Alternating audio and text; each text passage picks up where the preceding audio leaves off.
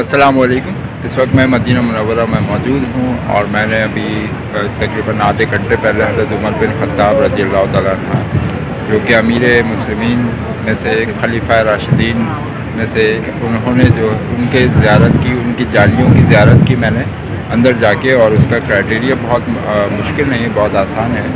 आप यहाँ से निकलेंगे, फिर सीधा जो है आप इस तरह से वहाँ पर उस तरफ़ से जाएँगे, फिर वहाँ से घूम के जो है पीछे की तरफ़ से, वहाँ से जो लोग आ रहे हैं ना, वहाँ से आप जाएँगे और ये साथ जितने भी लोग हैं, ये सब हज़रत उमर बिन ख़त्ताब रज़ी अल्लाह तह की जालियों की उनकी कब्र मुबारक की जो है ज़्यारत करने जा रहे हैं। वहाँ से जालियाँ देख, जालियों की ज़्यारत करेंगे और उसके बाद जो है फिर वो वहाँ से उस तरफ़ बाहर निकल जाएँगे।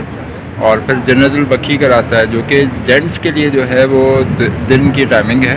और मैं एन एम ट्रेवल्स के ज़रिए यहाँ तक पहुँचा, मदीना मनवरा पहले मैं मक्का गया, मक्का में मैंने दो दिन का क़्याम किया, वहाँ पर उम्र अदा किया अल्हम्दुलिल्लाह। और फिर मैं मदीना मनवरा भी पहुँच गया हूँ एन एम ट्रेवल्स का। बहुत बहुत शुक्रिया एन एम ट्रेवल्स के ज़रिए।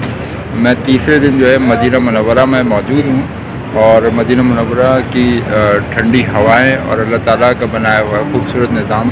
मैं इसको बहुत यानी कि महसूस कर रहा हूँ, बहुत अच्छा लग रहा है मुझे। और ये मैं उस मस्जिद के पास खड़ा हूँ जिस, मेरे पीछे जो मेरे मस्जिद मौजूद है, वो तुर्कों के दौर की बनी हुई मस्जिद है। और मैं जो है एन एम ट्रेवल्स का बहुत शुक्रगुजार हूँ कि उनके थ्रू मुझे उम्र करने का बहुत अच्छा मौका मिला और मैं यहाँ बहुत तरीके से उम्र कर रहा हूँ। और मैंने उम्र किया मैंने और अब मैं मदीना मनवरा में ज़्यारतों के लिए भी आया।